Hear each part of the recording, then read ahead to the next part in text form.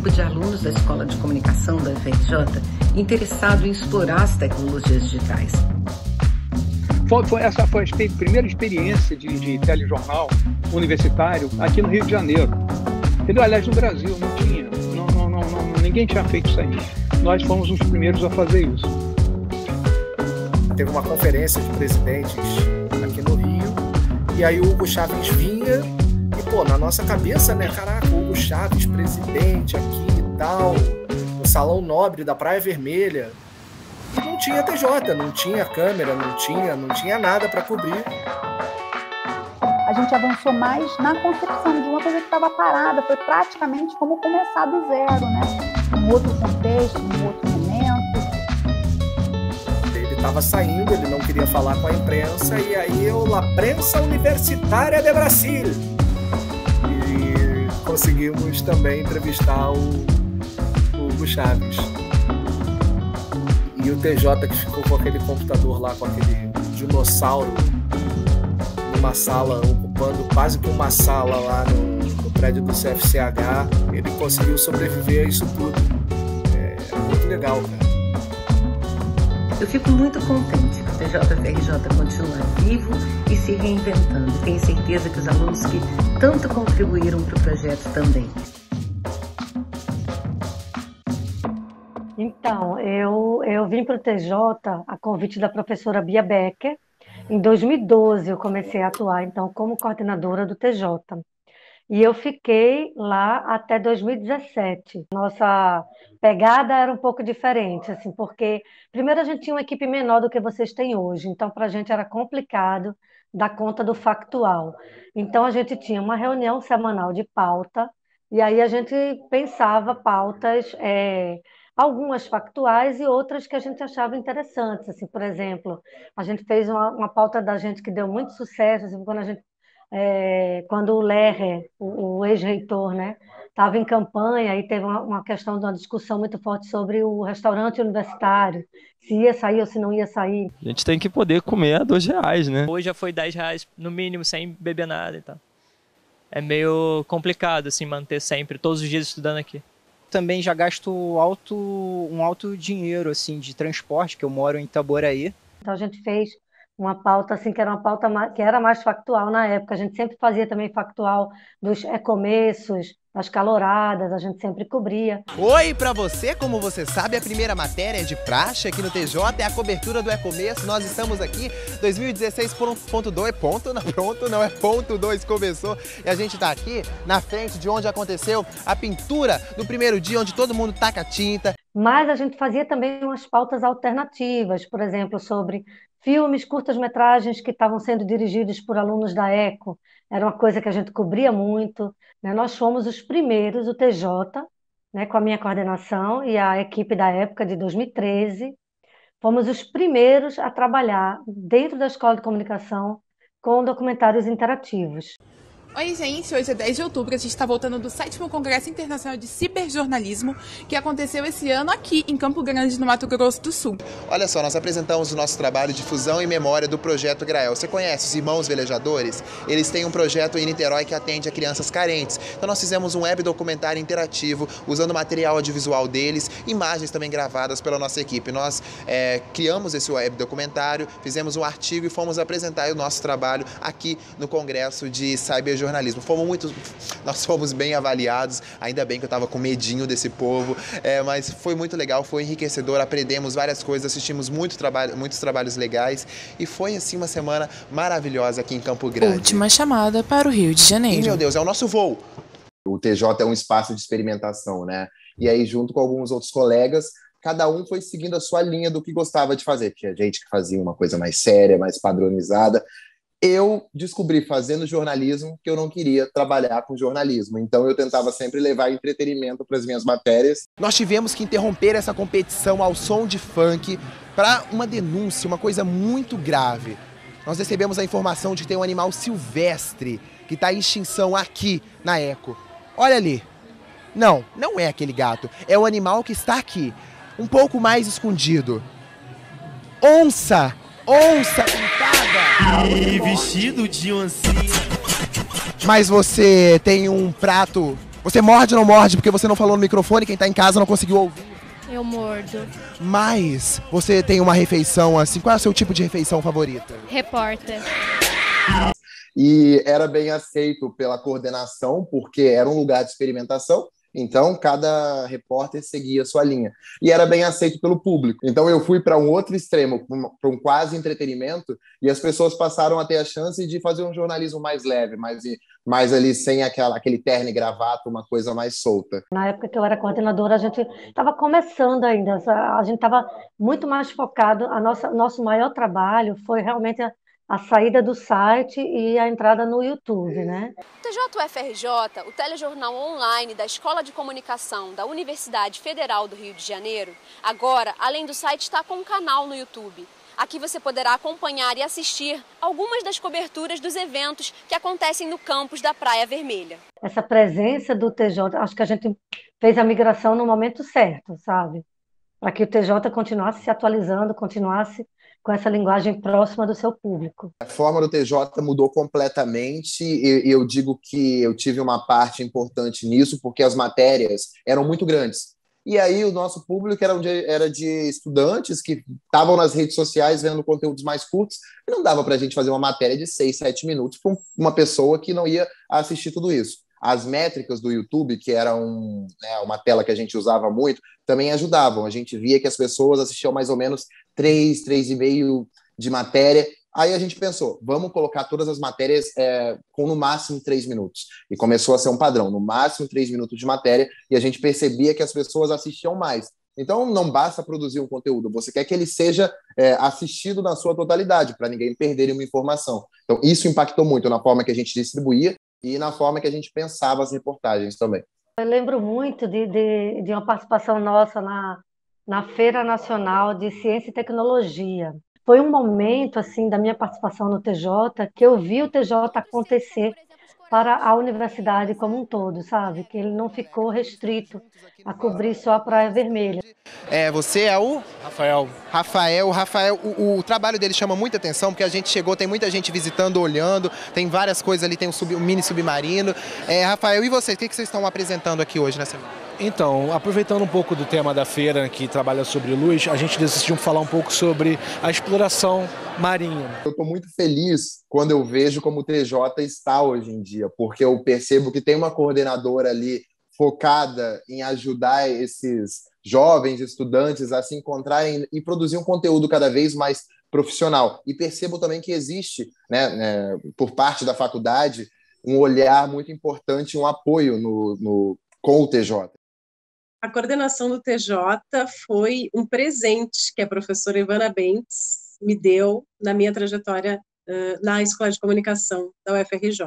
Naquele período de 2019, quando eu assumi a coordenação, o projeto ele vinha de algum tempo com a liderança apenas dos alunos e com um conteúdo mais direcionado para a área do entretenimento.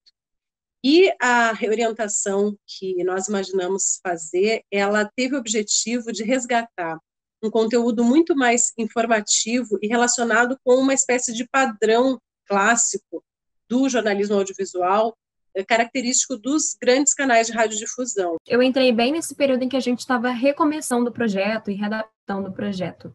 Então, sempre que surgia uma cobertura, a gente mandava no grupo e falava: olha, tem uma cobertura tal dia, precisamos de tantas pessoas, quem topa, quem pode.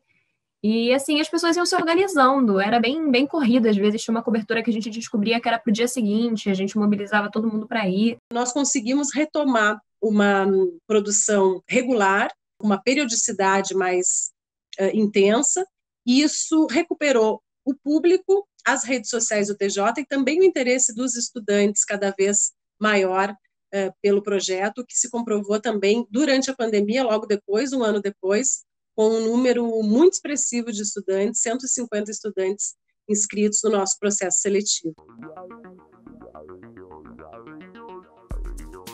Desde meu primeiro período, eu sempre tive muita vontade, muito interesse de fazer parte do TJ. De forma plural, de forma diversificada, seja o jornalismo que eu estou disposta e proposta a executar. E para mim o TJ é justamente esse espaço de ter troca, de arriscar, ter criatividade. Uma das atividades mais marcantes e mais envolventes e intensas da trajetória atual do TJ foi a cobertura a inauguração da sede da Mídia Ninja em São Paulo. Foi uma viagem que eu não acreditava que eu teria logo no início da minha graduação.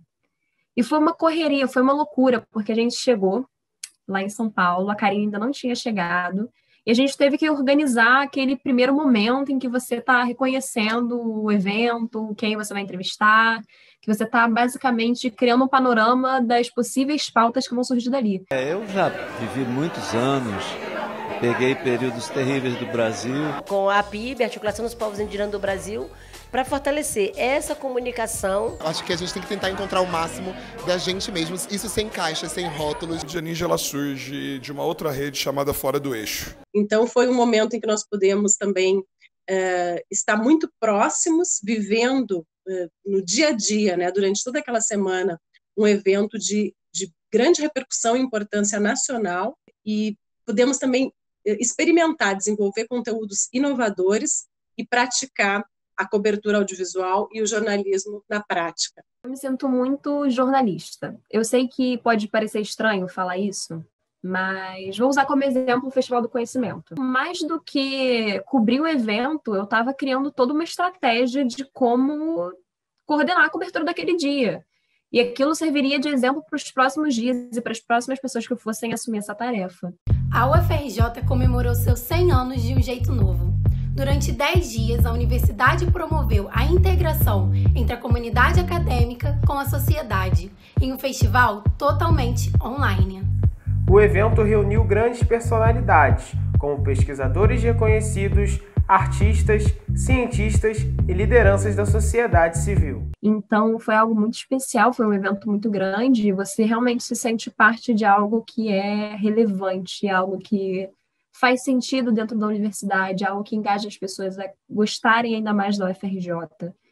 Então, eu acredito que o meu papel no TJ ele tem esse tipo de importância, né, de, de mostrar o que a universidade é. Para mim, foi um aprendizado muito grande, porque, cara, quando que eu ia pensar que a gente conseguiria fazer tudo isso de casa, cobrir um evento tão grande, de casa, tudo virtual? Como a gente chama conceitualmente no jornalismo, o newsmaking do telejornalismo, ele passou a ser é, reformulado com a pandemia. E a equipe do TJ conseguiu se adaptar a isso com muita rapidez, com muita iniciativa e com muita agilidade.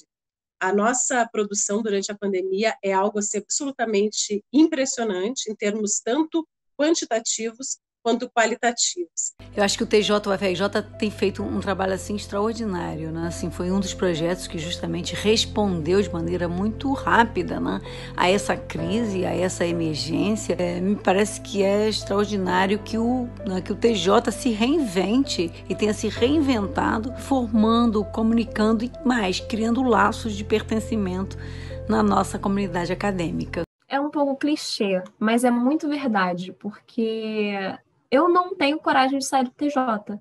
Eu tenho uma gratidão, uma gratidão tão grande que eu não me sinto, não me sentiria bem em deixar o projeto. Eu sinto como se eu tivesse que acompanhá-lo até o final da minha graduação. Justamente como uma forma de retribuir tanta coisa que eu pude viver, coisas que eu não poderia viver em outro lugar. Então, eu diria que o TJ é uma família.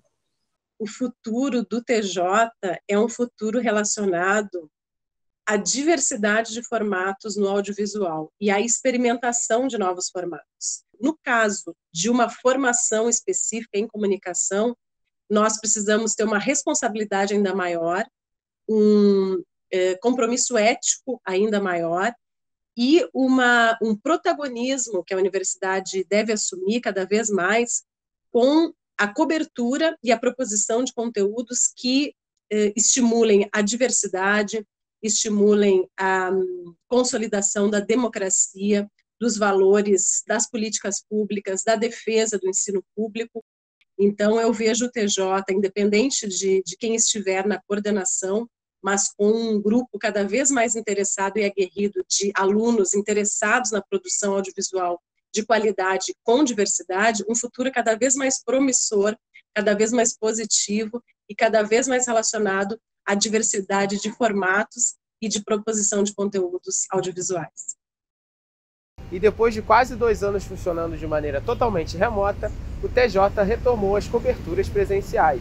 A Escola de Comunicação recebeu na última quinta-feira o seu primeiro evento presencial desde o início da pandemia. E como símbolo de retornos, esse evento também marca a volta do TJ presencial aos campos do UFRJ. Todos os envolvidos nessa reportagem estão vacinados com as duas doses contra a Covid. Como é bom falar isso. As máscaras são um legado do tempo em que vivemos, mas aos poucos o mundo vai voltando ao normal. O Super Acomeço já movimenta a Escola de Comunicação da UFRJ. O evento marca o retorno das atividades presenciais e recebe de braços abertos a comunidade universitária. E se tem universidade aberta, não poderia faltar o TJ. Como fazemos há duas décadas, estamos sempre presentes na Praia Vermelha e na UFRJ.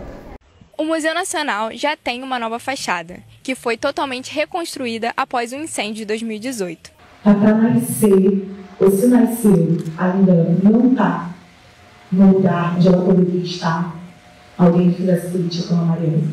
A aula inaugural da ministra Niele Franco abre o primeiro semestre para mais de 50 mil estudantes de graduação. Eu sou Leonardo Martins, do campus da Praia Vermelha, celebrando a história do TJUFRJ. Tem areia, tem grama, tem árvore, tem trave de futebol, mas cadê o bandejão? Esse é o lugar onde estão acontecendo as obras para o bandejão provisório aqui na Praia Vermelha. É, já tem algumas pessoas trabalhando, essa vai ser a sala, provavelmente esse será o portão onde as pessoas é, entrarão para pegar a sua refeição.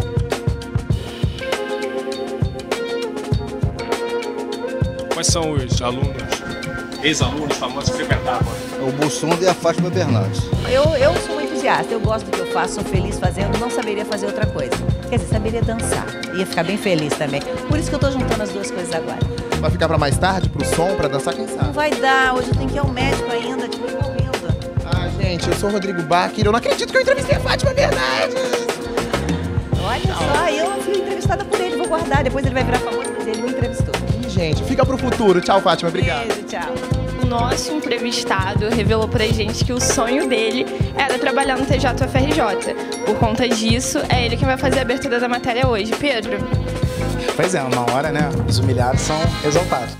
Hoje o TJ veio ao Jardim Botânico para tomar um cafezinho com. Alex Escobar. Comigo mesmo. Bola o gol. Dois termos essenciais do futebol. E o futebol é um representante essencial do esporte. Essa palavra nunca soou tão importante no Brasil, país que vai receber os dois eventos esportivos mais importantes, a Copa do Mundo e as Olimpíadas. Muito feliz com as manifestações, especificamente porque elas começaram o... a gota d'água foi a questão dos transportes. Muita gente que diz fora partido, fora partido, incitou o ódio, fiquei muito feliz em ser eu ter que falar desse assunto, falar de, de educação, falar de, de alunos, de professores, enfim. Estou muito feliz. Nós, no TJFRJ, desejamos melhorar a acessibilidade das nossas redes. E, como você já deve ter percebido, hoje estreamos o um novo formato das nossas matérias do TJ. Vamos adaptar o conteúdo das matérias para as pessoas surdas, usando a legenda ou a janela do intérprete. Aqui em mais uma edição do Arraeco. O que, que você coloca aqui? Você tem algum ingrediente especial? Tenho, amor. E de onde que você é? Eu sou de Taubaté. É real isso? É real. Mas vem cá, brincadeiras à parte. Você conhece a grávida de Taubaté ou não? Cara, pior que eu conheço. Foi muito engraçado, né, cara? Tipo, a gente, eu e meus amigos, a gente chegou a dar festa, tipo, com o tema da grávida.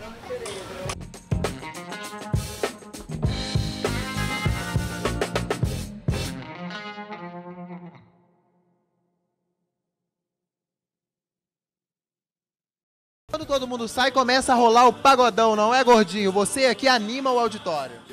Eu tento, eu tento. Eu... Tem que dançar, porque coloca a música, tem que dançar. Dança um pouquinho, vai. Ó.